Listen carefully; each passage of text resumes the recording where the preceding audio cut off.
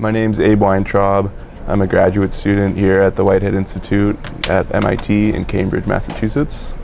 And mainly we're interested in studying the control of gene expression in development with embryonic stem cells, and then also how the control of gene expression can go wrong during different diseases. I grew up in Sacramento, California. I always liked science because it's almost like a puzzle where you can try and figure things out. And that always really appealed to me. So like building things or actually to my parents displeasure always taking things apart and then not necessarily being able to put them back together.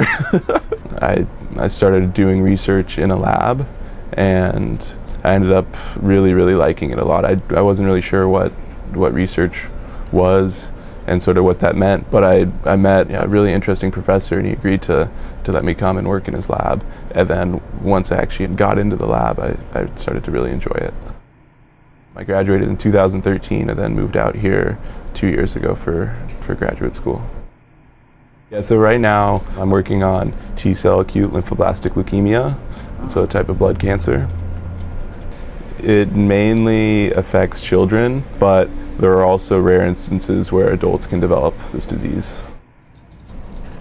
I guess the, the stuff that, that I'm mainly doing is more focused on understanding basic mechanism behind the disease. I mean, a lot of the stuff that we do here in this lab is relatively mild, um, at least with chemicals and explosions and stuff. So, um, I mean,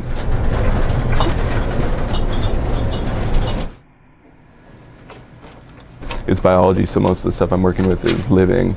So I work with like embryonic stem cells and then also cancer cells, and I'm, i grow those, and so it's it's really interesting to to look at those.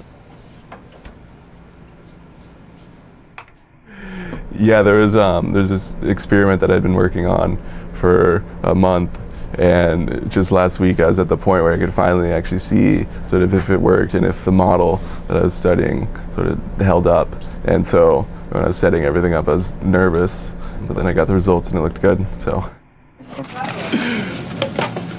everyone's on looking. Yeah, um, right now I'm genotyping these cells that I've been growing. So I've been trying to make um, a certain certain mutation in them, and now I want to check and see if it's actually actually in there. Mutated the right way. Yeah. The goal would obviously be to, to cure this disease. Hopefully, we'll just be able to sort of improve treatment for some of the patients that are affected. And it's sort of important to find something, I guess, that you're passionate about. Science is really exciting to me because you get to solve a problem. And so it's, it's similar to like doing a puzzle or something where you get to go out and try and, and try and answer questions and you get to see results. And so I think that, that it's a very exciting, very exciting field to be in.